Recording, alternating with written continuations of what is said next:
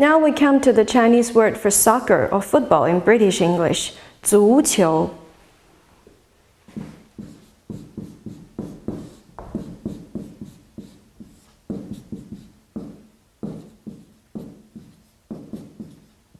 Okay, 足 in Chinese it means foot and 球 is ball.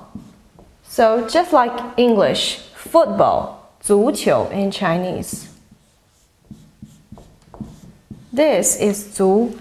And we know that zu can also become a radical.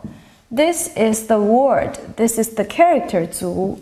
But when it becomes a, stroke, uh, a radical, you need to pay attention to the last strokes, the last two strokes. This uh, left falling becomes a vertical stroke, and this right falling stroke becomes a rising. So this serves as a radical that uh, is used with another uh, part to form a character. Okay, uh, back to 足球. Okay. Let's practice writing it again.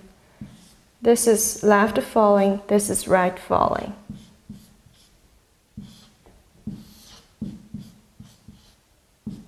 足球 football